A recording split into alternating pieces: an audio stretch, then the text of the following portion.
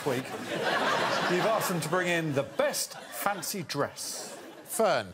I am dressed as an alien dressed as a Scottish man. Yes, this is Fern's fancy dress. Have a look. Oh my God!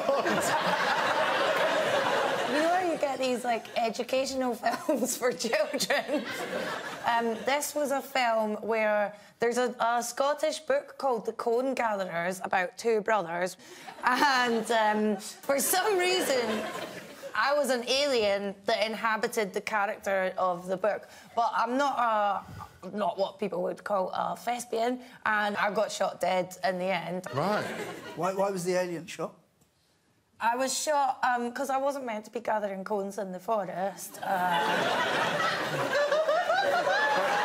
I feel like possibly my drinks have been spiked.